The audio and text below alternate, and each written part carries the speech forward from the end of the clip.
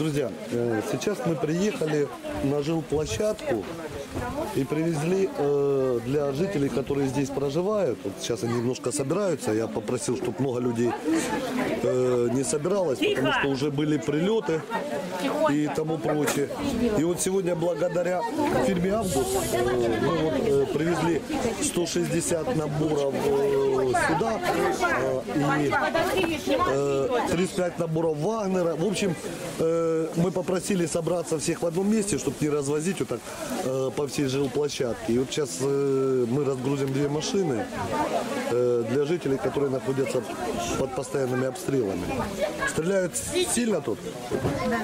А вам страшно или нет? Страшно. Они тут всю войну живут. Всю войну.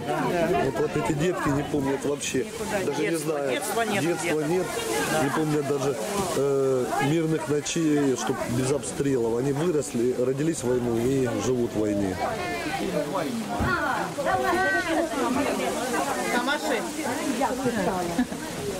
Ручкой. помаши ручкой. Помаши.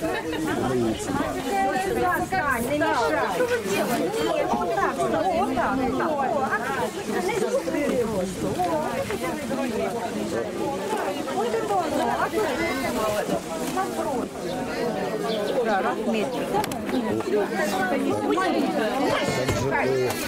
мы еще хлебушек сюда привезли.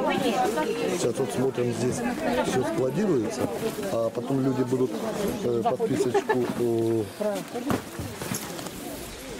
брать и э, вот хлебушек, видите, наши защитники пекут для мирных жителей. Скоро сюда каждому хлебушек. В общем, как-то так. Сейчас все выгрузим здесь. Около 200 наборов. Не задерживайтесь. Сейчас мы Одну секунду. эту машину сейчас выгружаем.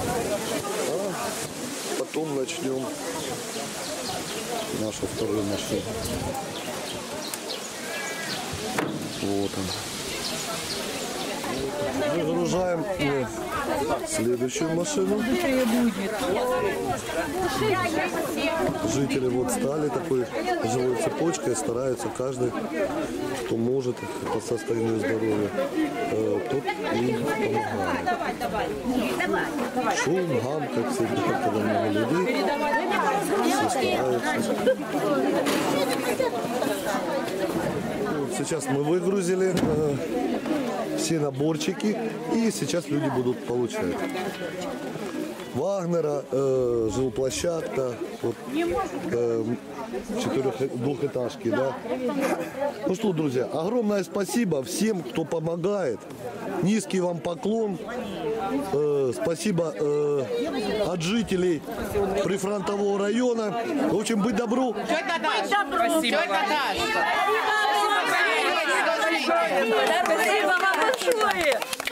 Дай Бог вам здоровья. И низкий поклон всем тем людям, которые помогают всем неравнодушным.